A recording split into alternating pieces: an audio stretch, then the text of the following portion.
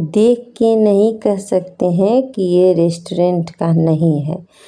क्या आपके भी रेस्टोरेंट स्टाइल फ्राइड राइस नहीं बनते हैं दोस्तों? देखिए कितने खिले खिले और टेस्टी लग रहे हैं। और कलर कम या ज़्यादा आप कर सकते हो। मैंने वाइट कलर रखा है दोस्तों। तो इसके लिए देखिए, चावल आपको अच्छी क्वालिटी का बासमती राइस लेना है। देख लीजिए। और इसे हमें दो तीन बार अच्छी तरह धुल लेना है और धुल के कम से कम बीस से पच्चीस मिनट इसको रेस्ट होने के लिए रख देंगे।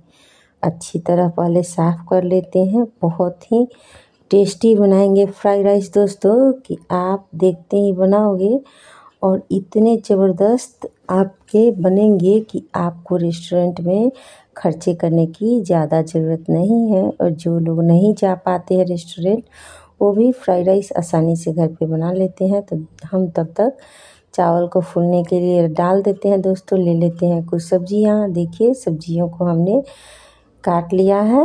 एक कप शिमला मिर्च है दोस्तों। देखिए, तब तक चावल भी फूल गया है। एक कप गाजर, प्याज और हरे प्याज, मिर्ची, लहसुन, अदरक। सभी सब्जियों को हमने काट लिया है और पतीले में एट्टी परसेंट तक राइस को पका लेंगे दोस्तों। राइस पकाना तो सभी को आता है, वीडियो को लंबा नहीं करते हैं।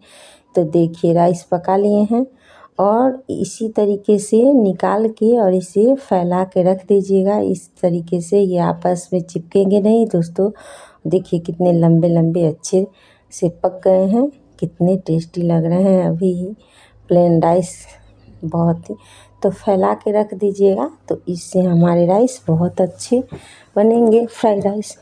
अब यहाँ पे आप मोटे तले का फैला हुआ कढ़ाई लीजिएगा। आपके पास चाइनीज़ कढ़ाई है तो वो भी ले सकते हैं। और इसमें इसको हम गर्म होने देते हैं।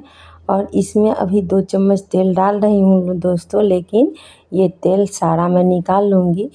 इसे कढ़ाई को फैल, पहले बघार दूँगी मतलब सेट कर दूँगी। दोस्तों, देखिए, इस तरीके से और फिर मैं तेल निकाल लूँगी, आधा चम्मच ही रखूँगी।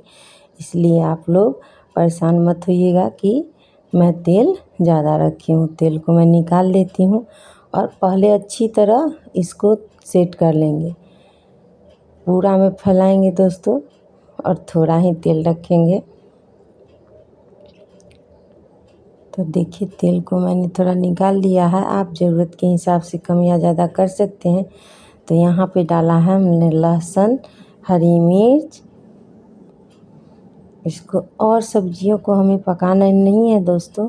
बस थोड़े थोड़े सौटे करना है। अब ये हरे प्याज का वाइट वाला हिस्सा, देखिए, ये भी आधे कप के करीब है। इसे भी डाल के थोड़ा सा मिला लेती हूँ। अब गाजर रखूँगी। दोस्तों, गाजर पकने में शिमला मिर्च के हिसाब से थोड़ा ज़्यादा टाइम लगता है तो इसीलिए गाजर पहले डाल लिए हैं और हाई फ्लेम पे हम सभी चीज़ों को टोस्ट करेंगे। तो एक से डेढ़ मिनट गाजर को भी भून लिया है, फिर हमने शिमला मिर्च भी ऐड कर दिया है। आप यहाँ पे बीन्स भी डाल सकते हो। देखिए। कढ़ाई को बघार लगाने से होता क्या है दोस्तों कि ये कुछ भी आपके चिपकेंगे नहीं। अब ये वाइट वाला जो ऊपर का प्याज का हिस्सा होता है और हरा प्याज भी एक कप।